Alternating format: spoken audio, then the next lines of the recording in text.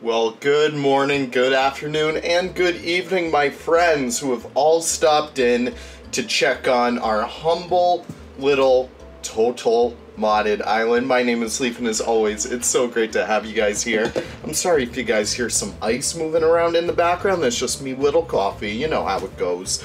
But yeah, today we are back here in Total Modded Island, and we're doing a little bit of TLC work for the first half of this episode. Yes, we are pretty much trying to get our education back up. We're trying to take care of some business. I finally figured out why the Takins weren't doing so hot. It's because they couldn't even access half their habitat. Uh, so that was pretty funny. And we're doing a few, like, you know, vanity work all across uh, pretty much the entire park here. Um, just making sure that we get all these small nooks and crannies all decorated and stuff.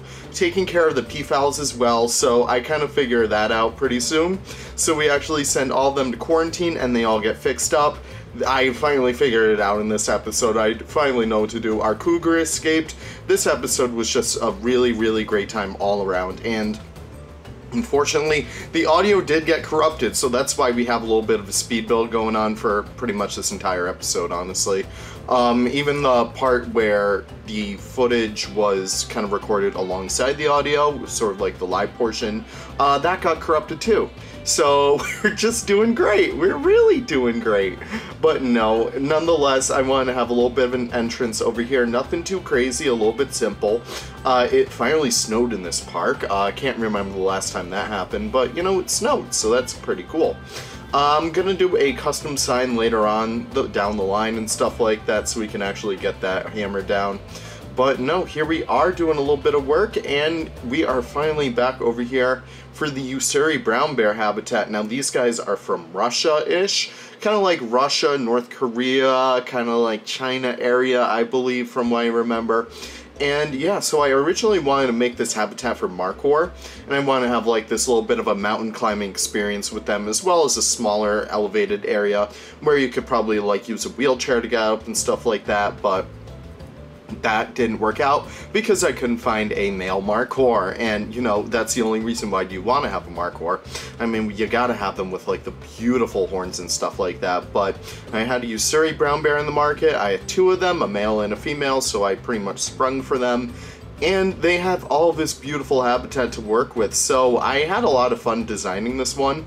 So as you can probably tell, I want to have a little bit of an elevated area and I kind of integrated that with a lot of different stuff, and the new path mod came out as well, so I do use those kind of like gravel paths to make little planters and stuff. You guys may remember that from my video coming out on Tuesday. Yeah, it comes out Tuesday. So it'll already have been out by now. If you haven't seen that, definitely do check it out because I give you guys some like little extra tricks when it comes to making those swanky little paths, you know, making them pretty interesting and stuff like that. But no, so the Ussuri Brown Bear was made by Havok and Gabboi from what I remember. Maybe Mega Gaming Rex too. They're like, it's usually always those three or two or even one of them. But no, these guys are beautiful. And here we go, actually trying to get them into the habitat. And I use these fences as well to kind of, you know, separate that a little bit because I wanted to have this little bit of a uh, brown uh, stairs kind of look to it. I don't really know why. I just thought it would look good, and it does look good. So, you know what? Never question me, guys. I am always right. Um, no, I'm just playing. So yeah, here I am trying to get these guys into their little habitat, but I realize that all my keepers, well, all my caretakers and all my vets are preoccupied with the peafowls, and you can see the big old line of them right there, so I thought that was pretty funny and you can see them constantly trying to do that. So I actually do buy a second quarantine facility just so we could get that like, you know, just so we could get all these guys fixed up in no time.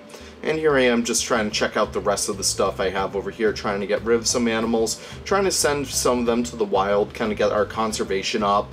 You know, eh, we're trying to build up as much as we can when it comes to this. And, you know, I'm just having fun with it. It's pretty fun. And you can see them all drop off, like, you know, all the peafowls in there. I take out a loan, probably the worst decision of my life because we end up with like no money by the end of this episode. And I do this little bit of a climbing frame for these guys so they could actually have a little bit of an elevated viewing area. I'm not sure if they actually require, um, if they actually require, what's the word I'm thinking of? What's the word I'm thinking of? Climbing? I guess we could probably see that coming up soon if we look at like their stats on the right. I do some plants as well. Why not? You know, keep the keep the habitat nice and lush. I don't know. I feel like it looks pretty nice in the end. But yeah, they seem to enjoy it. I feel like we have like all the things we need for them. I do this little bit of a roof for them as well. They can climb on the top of it. I'm pretty sure they might be able to escape too. But it doesn't matter.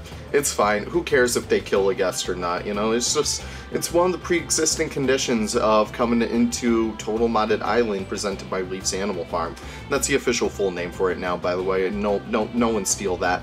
But yeah, they are able to escape, so I did add those little bit barriers, and I saw that they were able to get up there, so I kind of make it up with some thatch, but they could still get up there. So, you know, I figured why not? They can't really escape, quote unquote, so it's fine. I don't really have any qualm with that whatsoever. And of course, doing some enrichment for them. And this is about the time where we kind of hop over to the live portion of this, but technically not live because it kind of got corrupted. And yeah, so here I am just doing some more education and stuff. And you can see what I've done so far, and I pretty much just go through like everything that we've done. Our Nilgai are doing awesome. I kind of changed out that little food area. I'm gonna need to add some more food areas going on forward just because I only have vending machines where the original food stalls were and we need some more food stalls because those make the big bucks and that's probably why I have no money at this point anymore. But yeah I don't know I just felt like it was pretty good mountainous area and I do add a little bit of a uh, sort of like a oh what do you call it like a shade structure on the top of that. So like if you're a guest and you're up there in like the hot summer heat you would just you know fry your little butt off. And there are all our peafowls. They are healthy, they are happy, and everyone is doing fantastic now. And there's our Ussuri brown bear, so we'll end it right there, and thank you guys so much for watching. I hope you guys forgive me for the little bit of the snafu, but I'll tell you what, I'll see you guys in the next one. Take care, and have a wonderful, wonderful day. Bye-bye now.